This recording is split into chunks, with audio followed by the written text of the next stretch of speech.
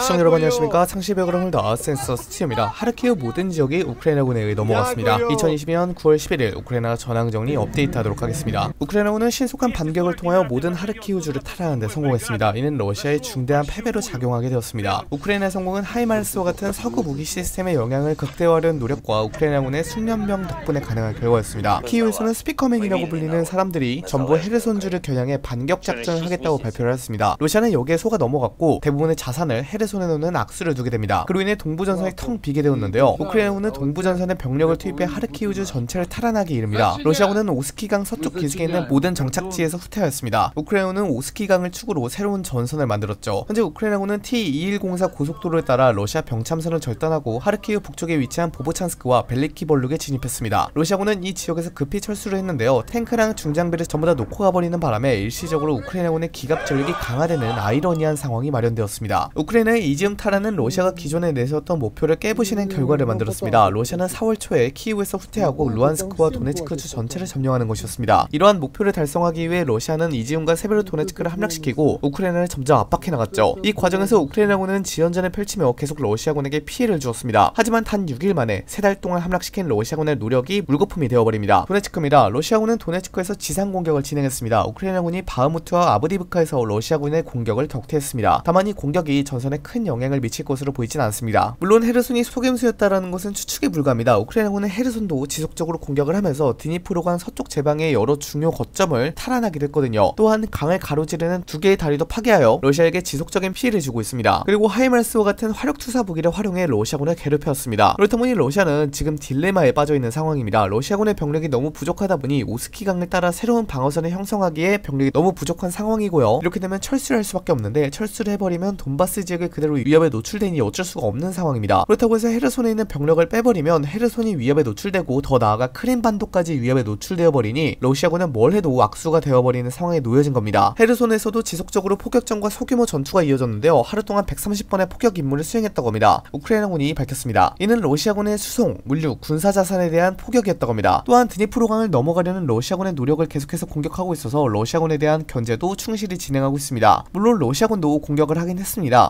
T2207 고속도로에 따라 헤르손에서 북동쪽으로 약 75km 정도 떨어진 우크라이나 진지를 공격하기도 했습니다. 또한 러시아군은 미사일 공습도 동반하여 공격을 진행하기도 했습니다. 우크라이나는 러시아군의 상당 부분 몰아내고 그 부분에 다시 방어선을 쌓은 다음에 또 다른 전략을 펼쳐 러시아군을 몰아내어 다시 방어선을 쌓는 식으로 전쟁을 이어나갈 겁니다. 전쟁은 2023년까지 지속될 가능성이 높죠. 현재 우크라이나에게 모든 전세가 기운 상황인지라 우크라이나는 무리를 안 해도 되는 상황입니다. 다만 겨울이 다가오고 있기 때문에 에너지 문제 등과 관련하여 유의를 한다면 별탈 없이 우크라이나가 계속 주도권 을 잡고 갈 것을 보입니다. 현재 러시아 내부에서도 러시아군에 대한 비난이 점점 거세지고 있습니다. 일부 러시아 군사 분석가들은 현재 일어난 모든 책임을 국방부와 장군들에게 돌려야 한다며 쇼이그 국방장관을 해임시켜야 한다는 의견도 나오고 있는 상황입니다. 그렇다 보니 푸틴 러시아 대통령의 실각 가능성도 적게나마 조금씩 나오고 있죠. 그리고 현재 우크라이나 반격의 성공으로 인해서 합병 국민 투표를 실행하려는 러시아의 계획도 모두 망가지게 되었습니다. 크렘린은 9월 11일자로 모든 점령된 우크라이나 영토에 대한 병합 국민 투표를 무기한 연기하라고 지시하였습니다. 이는 우크라이나군의 반격으로 인해 발생된 것이었